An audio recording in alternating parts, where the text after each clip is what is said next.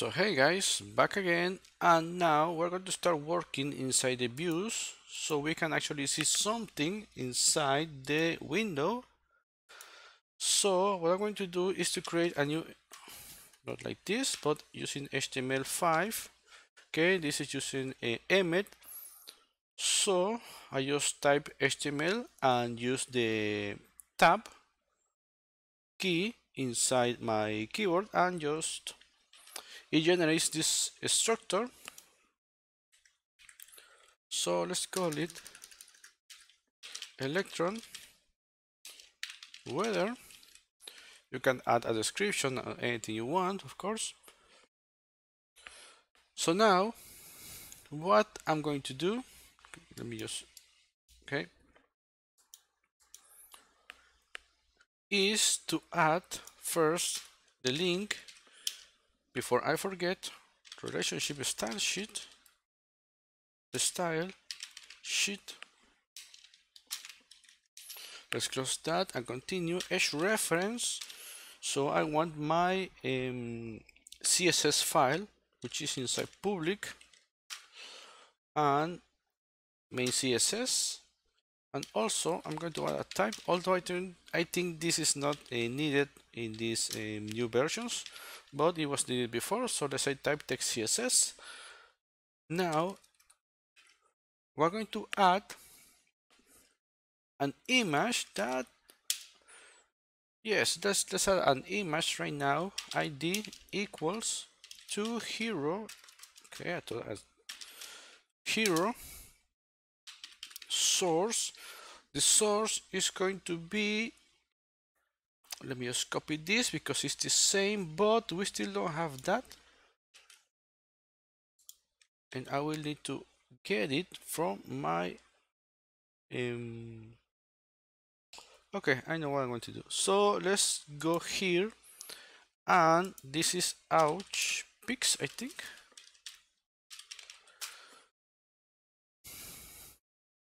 Uh, ouch pix so it was yeah yeah sure sure.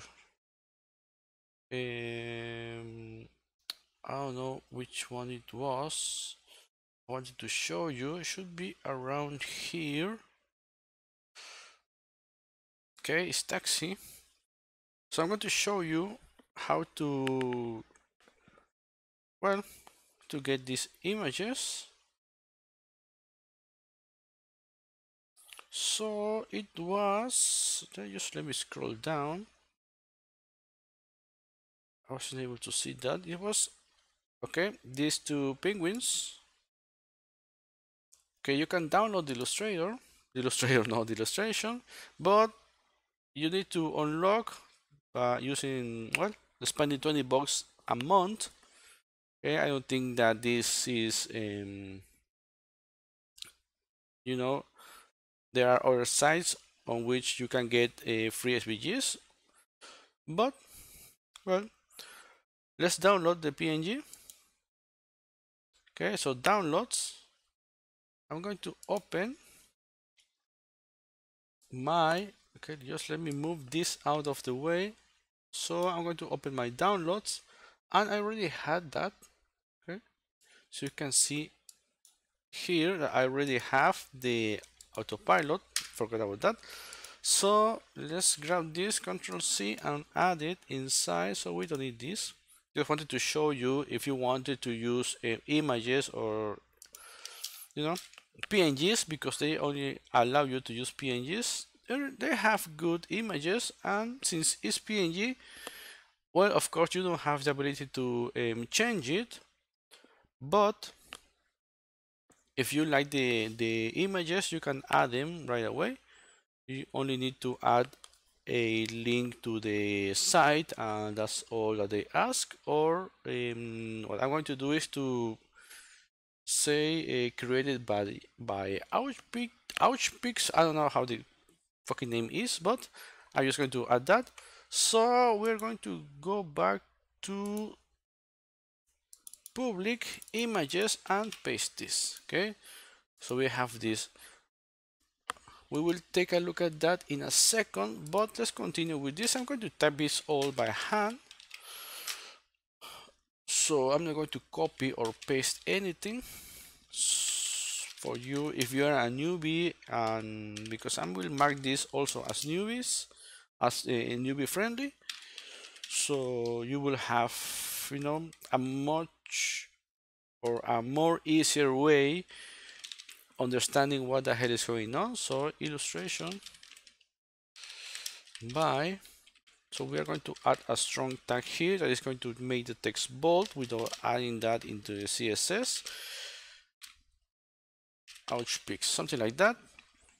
And we're going to create the main window or the main section of this um, HTML remember that we're going to always try to use the semantic way because um, you might be thinking oh I can do this with divs and all that.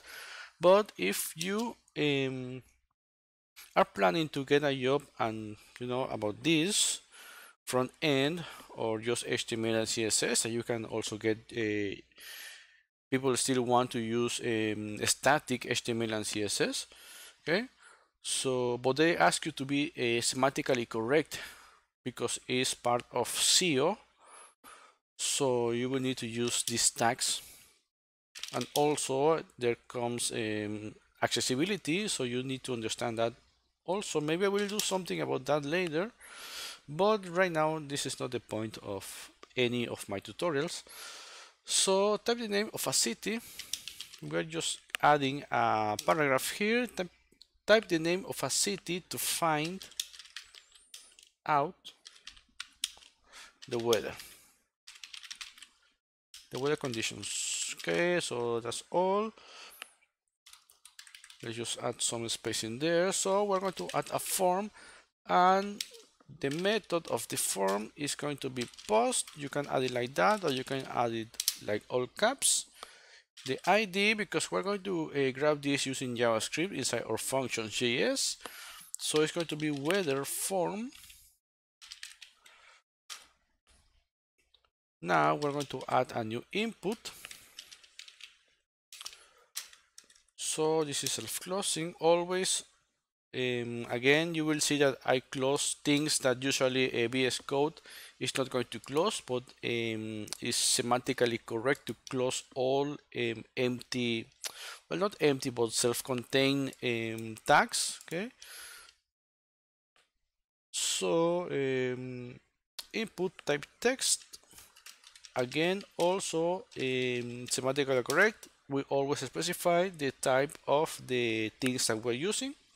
In this case the input. So we tell the browser all the things that it needs to uh, that although it already knows um, you know it's better for us to just add it because it doesn't cost us anything. So input name and let's say input. So this one is the so this is the first one. The input on line 21 is for the city name that is going to allow us to search by that name. And the post submit that this is the id of this input is going to be the type submit always use as input type submit. When you want to submit a form don't use a fucking button okay value submit. Always semantically correct. And we have the form there. So okay. So this is our form but we still need to add something. We have the scripts but let's find them because it's the functions that we're going to use is inside function.js but of course that file now so let's open is empty okay as well as the main css even though we already have them um, we already have the reference inside or only html file that we're going to use. So okay we can close the index.js for the although this should be called main.js okay if you change this to main.js you will need to change it inside okay this um, script that's the only thing So I'm going to leave it like that. So also this one is done. And we will need to start working or we will need to start adding the functionality inside these functions that is not that much. But let's first let's um, yeah I'm going to add the CSS and just stop here okay after adding the css and then we can start with the functions. So we can have the electron the first part the html and css the second part and the third part is going to make everything work using the functions.js i think that's the best way so because as i said as i'm going to mark this as newbie friendly okay um, yeah, I think that's the best way. So we're going to use the Google Fonts um, Source Sans Pro. Okay, so if you want to get that, how I got that, let's take a look at Google Fonts.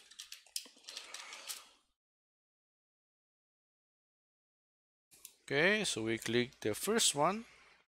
Since it's uh, built with Google, of course, it's the first inside the you know the listing so this one is source source sans pro you click this uh, they even tell you select this font and here we have two options. To use the standard the link href and all that that we use always with angular and react.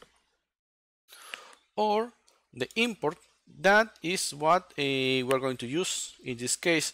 Why I'm using the import? Because if I use the um, the link I will need to add that inside every other thing that I have okay that uh, has an HTML extension that I want to use the the font okay? So I will need to add the link here okay? And if I create an I don't know an about maybe or another um, another window I will need to also add inside that the um, styling or the font. So there is no point of doing that if we import that in the CSS that is uh, being used inside the rest of the application. So I'm going to copy uh, and I'm going to pass through all this pretty fast so we can display that and so let's close this. We actually don't need that. Okay so let me paste all this and we will see um, here npm start. So let's see how this looks.